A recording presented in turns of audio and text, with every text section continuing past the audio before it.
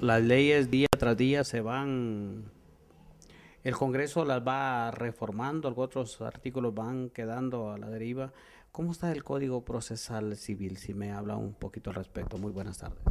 Eh, buenas tardes, amigo alemán. La verdad es que el nuevo Código Procesal Civil, pues desde que entró en vigencia, que tiene un año y meses de estar en, en práctica, sí se han visto algunos avances donde los juicios han tenido un poco más de aceleramiento en la ejecución de las sentencias Juicios que antes tardaban dos, tres y cinco años, pues ahora se está resolviendo en poco tiempo, digamos, las demandas de divorcio o de alimentos eh, dentro de un mes.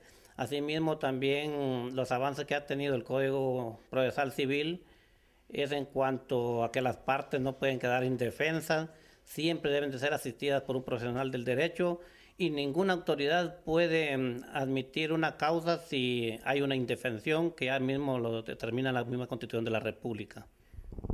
Ahora bien, en este caso, cuando, por ejemplo, ¿cuál es la ventaja que tienen los abogados? ¿Y cuál es la, la ventaja que tiene el defendido? Bueno, las ventajas que hay de que uno está presente con las partes en el mismo juicio, en las audiencias, las audiencias son orales, son públicas y ya no se hace como era anteriormente que el juez era la única autoridad, la única persona que estaba presente y que hacía todo eh, a escondidas sin que la otra parte se diera cuenta. Hoy no, porque estando presentes como abogados que somos y también están las, partes en conflicto, están presentes y se está dando cuenta la actuación de la autoridad.